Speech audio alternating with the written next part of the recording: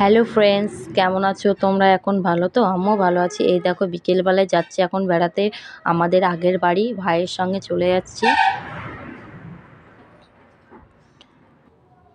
এবার চলে যাব আমাদের বাড়ি, একটু দূরে আগিয়ে।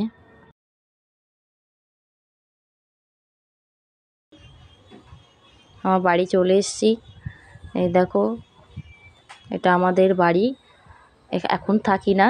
এখন থাকে ঠাম্মা, জেঠিমা আর জেঠু মারা গেছে, ভাই, বোন। ভাই নেই ভাইরে বাইরে গেছে খাটতে। আর বোন গেছে মামার বাড়ি।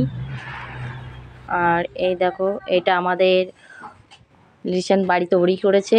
এখানে মা, বাবা, ভাই থাকবে।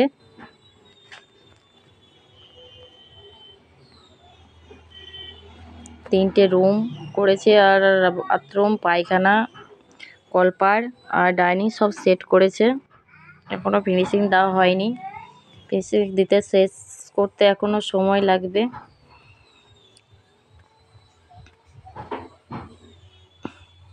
অনেক দিন থেকে মাঠে যাওয়া হয়নি বলে মাঠে যাব এখন। দেখো, ফুলগুলো খুব সুন্দর লাগছে না? কী ফুল? আমাকে অবশ্যই জানাবে এগুলো। এই দেখো, গাছে ইঁচড় ধরেছে। দেখতে পাচ্ছ? আর এই দেখো, এটা কিসের গাছ বলো তো? ছোটো ছোটো ভুট্টা। আর দেখো কলা গাছে কলা ধরেছে আধ দেখতে পাচ্ছ কাঠ ইঁচড় কতগুলো ধরেছে?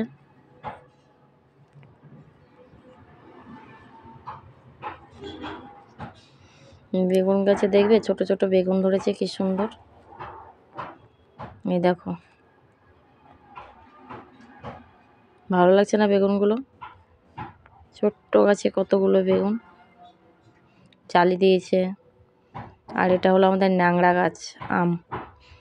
এতে মুকুল দিয়েছে, চারিদিকে ডালপালাগুলো কেটে দিয়েছে, নাহলে অনেক ফাংড়া ছিল। আর ওই সাইডে দুটো দেখছি ওটা লিচু গাছ। লিচু গাছেও মুকুল দিয়েছে।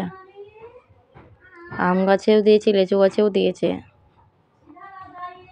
আর এই হলুদের পাতা দিয়ে হলুদ সিদ্ধ হবে। এই দেখো জবা গাছ।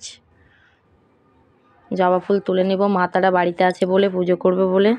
মা, অনেক জবা ফুল ফুটেছে বলে তুলে নিই। পুজো করা হবে সকালে। আর ওখানে ফুল তো নেই, সে ফুল পাওয়া যায় না, ফুল কিনে নিতে হয়। তা দু চারটা গাছ মা লাগিয়েছে, ছোট ছোট করি দিয়েছে, অনেকগুলো ফুল হবে না, তো তার জন্য আমি ফুলগুলো তুলে নিচ্ছি। এবার গমের মাঠের দিকে যাব।